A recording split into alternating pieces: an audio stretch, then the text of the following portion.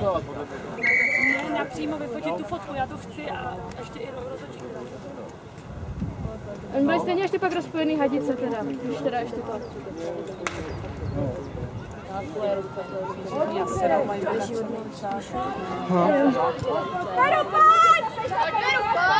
Házej!